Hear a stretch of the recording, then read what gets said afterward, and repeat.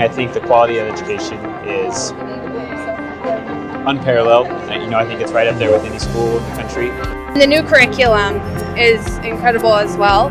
It really integrates um, all of the classes into a systems-based approach, which makes sense because the human body, you know, we're systems. It's not just biochemistry and biology and anatomy. Um, it looks at the human body as a whole being, and uh, to learn medicine through that system is very effective. There's a lot of opportunities to work in the clinical setting right when you start, like even before the first day of med school.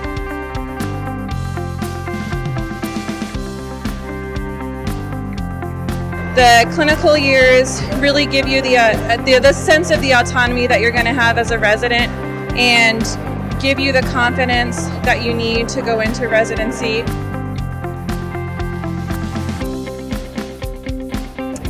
I love that it still has a relatively small class size. Um, we have a class of 66 right now, and I think you get really great individualized attention from the professors. Uh, we have, I know every single person in my medical school class, which not everyone can say. I think we have a real small town feel to this medical school, and it's really well recognized in the community.